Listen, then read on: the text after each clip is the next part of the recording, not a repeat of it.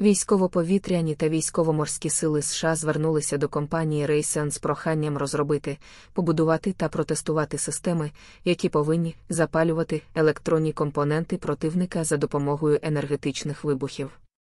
З інформацією, отриманою від Defense News та Європейська Правда, Raytheon планує поставити прототипи для програми передової електромагнітної нейтралізації та ураження спрямованою енергією DEFEND у 2024 та 2026 роках.